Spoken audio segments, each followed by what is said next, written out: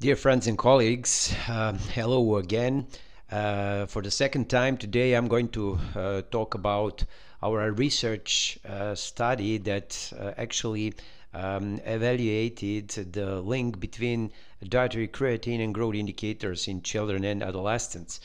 Uh, this study is actually a part of our program aimed to understand the relationship between dietary intake of creatine and uh, children growth in really various um, uh, subpopulations. Actually, we would like to understand how creatine affects uh, children growth, and this is just a cross-sectional approach. So, additional studies, longitudinal, uh, interventionals are currently ongoing. The idea uh, behind the whole uh, project actually was that uh, we somehow recognize that uh, the adequate provision of creatine from food might be important, even necessary for optimizing human growth. We already know that creatine might be considered as a semi-conditional nutrient. So uh, that um, essential role might be particularly highlighted in in uh, children. We already know that the de novo uh, or um, uh, nutritional um, intake of creatine is very important to uphold uh, placental function as well as normal uh, pregnancy, fetal growth, and, maturation. Um, so far, using the creatine deficiency syndrome uh, models or um, human trials, we already know that children who um, um, uh, are able to get uh, extra creatine from food with CDC um, uh, allows um, uh, normal development, both, mental, physical development, and children are able to thrive uh, normally when they are supplied with enough uh, creatine. Uh, on the other uh, hand, the creatine appears to be well, very safe and effective intervention in a plethora of different studies that evaluated pediatric patients or athletes. But still, there is no enough data uh, about uh, the link between dietary creatine on one side and uh, growth indicators. So we decided to, to quantify the amount of creatine consumed uh, through the regular uh, diet among um, uh, children and adolescents aged 2 to 9 years using the data from 2001, 2012 NHANES rounds and also to really find a way how to uh, evaluate the possible link between creatine uh, intake and uh, various growth indicators in this uh, sample.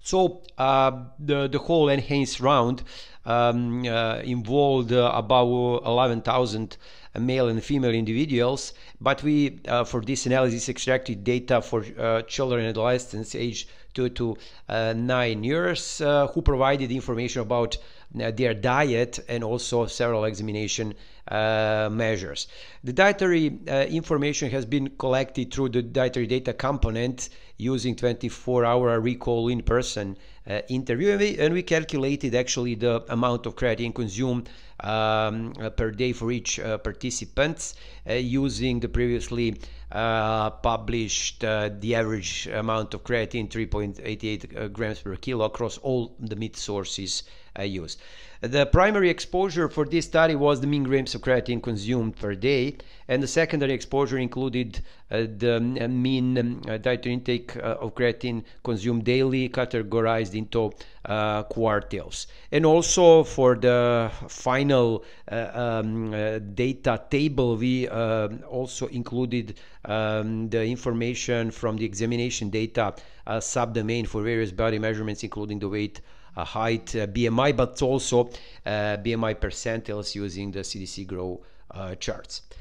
So the average intake of creatine in our uh, study uh, was uh, about 1.07 grams per day and the final sample actually um, included a little bit more than 4,000 participants and we calculated the quartiles uh, of creatine intake. What appears to be uh, most important in terms of uh, compar comparison between height, weight, and BMI across the quartiles, it appears that there is a significant uh, difference between the quartiles of creatine intake, with um, a strong trend showing that um, children who uh, uh, intake uh, ingest more creatine have higher values for height, weight, and BMI, as shown in this in this table. On the other hand, we compare the differences between a stature, stature for age and BMI for age across different um, uh, categories of short, normal, and tall stature, or underweight, normal weight, overweight, and obese. And we didn't find any differences, but from the figure in front of you, you could easily see that um, it appears that the children who ingest more creatine have tended to uh, be um, uh, either taller or, or, actually the higher uh, stature for age um, uh, outcomes and also uh, as well for the BMI, BMI for, for age. Um, uh, no matter we didn't find any any significant differences in terms of in terms of the specific um, outcomes. Uh, when we did the regression analysis, uh, both with a crude model and adjusted model that has been uh, adjusted for, for important demographic variables um, or covariates, including the gender, ethnicity, ethnicity, uh, annual income, energy intake, and total protein, uh, we definitely uh, found a significant association between the dietary creatine intake and most primary and secondary outcomes across the, the sample except for BMI for age in the crude uh, model. Um, uh, to uh, perhaps uh, summarize this in, in one sentence, it appears that if you add 1 0.1 gram of creatine per day, uh, you will see the increase in height by approximately 0.6 centimeters in the simple model or, or 0.3 centimeters in adjusted uh, model. Uh, finally, uh, we did some cross-tabulation uh, analysis for stature for age across different quartiles of creatine intake, and we um, uh, found something that appears to be uh, really interesting. It, uh, um, actually, the participants from the quartile 3 are significantly different from others, particularly in terms of having higher rates of tall stature. So it appears that those kids are actually taller who are taking approximately 1.1 grams of creatine per day comparing to other uh, quartiles. That, that, that was not the case for the uh, quartile uh, 4 or other uh, differences were not found across creatine quartiles, uh, also for BMI for age categories. So let's uh, give a short interpretation of these results. We definitely found here that in, in our sample of children and adolescents, uh, those um, participants who had a higher intake of creatine have definitely higher stature, weight, and BMI compared to their uh, lower intake, low intake uh, counterparts. And it appears that uh, this has been followed by a stepwise rise corresponding to an incremental uh, increase in, in di dietary creatine intake. Uh, the mean dietary creatine intake uh, appears to be similar across uh, uh different categories for stature for age and BMI uh, for age, but uh, the participants from the third quartile that have an intake approximately 1.1 grams per creatine per day were significantly different from others with respect to having higher rates of tall stature. Uh, the trends remained even after we controlled the, the um, models for various demographic and nutritional variables, and definitely dietary creatine appeared positively associated with most growth uh, indicators. This is uh, partly in line with previous studies uh, because we already know that um, normal uh, creatine levels in, in the mothers during the uh, final trimester of pregnancy um, is a very important protective factor against uh, a, a, bad perinatal uh, outcomes. And also, we know that uh, fetal growth is, is, positively associated with creatine levels. You know, with each unit increase in maternal creatine goes with approximately 1.23 unit increase in birth weight a centile and also 0.11 centimeters increase in birth uh, length. Um, another um, uh, study that actually uh, suggests the link between uh, creatine levels and growth uh, is undertaken back in 1965 by Japanese group. Uh, they found that undernourished boys aged 8 to 11 years actually have a lower creatine levels due to diet deficient in, in creatine building components and uh, uh, somehow the nutritional supplementation uh, providing extra creatine might uh, compensate for that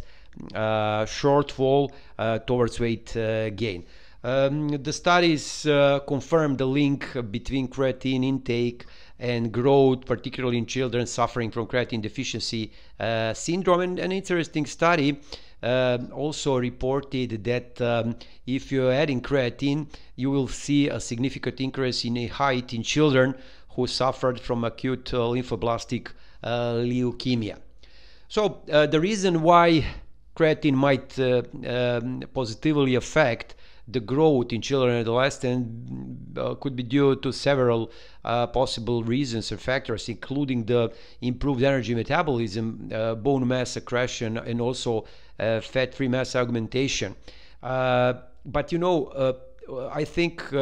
this study is also very important in terms of finding kind of a threshold of dietary creatine linked with advanced uh, growth. It appears that um, uh, children and adolescents who are consuming extra creatine, they definitely will have a, a taller stature, but um, the tallest uh, of all quartiles was the third one. So um, uh, approximately, if, you, if you're consuming uh, from 0.84 to approximately 1.5 grams of creatine, you will definitely have a higher uh, stature com comparing to other uh, groups and additional extra creatine above that was not necessarily accompanied by a higher prevalence of tall stature in, in our population. So uh, some creatine, uh, about 1.1, might be appropriate to facilitate uh, growth. Uh, and probably the fact that the uptake of creatine from the diet of about one gram is required uh, to achieve steady state in the adult population as far as, as we know, uh, you would perhaps need extra creatine to sustain appropriate growth and uh, maturation. Uh, the reasons uh, behind this finding might be related to the uh, possible lower intake of meat-based foods because they are the primary source of creatine. And a couple of studies really, uh, um, previous studies really reported that a high risk of growth retardation among um, children and adolescents might be related to the lower regular meat intake. And in, in my opinion, this is the perhaps first time that we should uh, really uh, consider the protective effect of meat consumption against stunting in children should, should emphasize the possible role of creatine. Creatine might be that important component from the meat uh, related to the um, appropriate growth and maturation in, in children. So, in the future, perhaps addressing uh, the optimal creatine consumption in this uh, population uh, could be uh, seen as an important public uh, health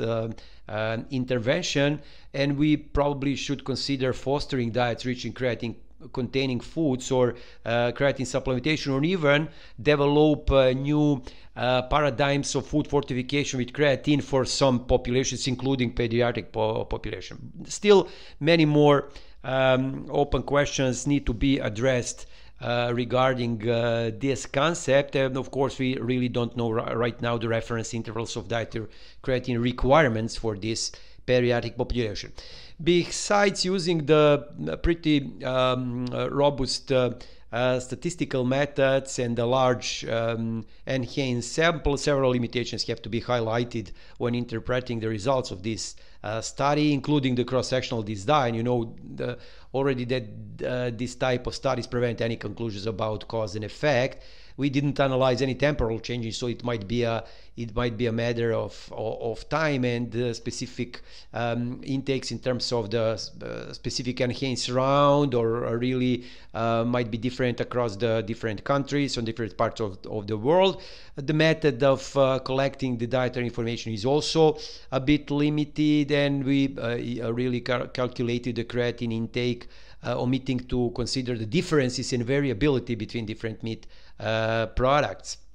So to conclude here, really we found that dietary creatine um, in taller children appears to be higher than in the shorter uh, uh, peers and the positive cause association between creatine and growth remain robust even after adjusting for main demographic and nutritional variables. Taking enough creatine might be uh, really important to ensure advanced uh, growth and future research had to monitor uh, uh, those uh, changes during time. So,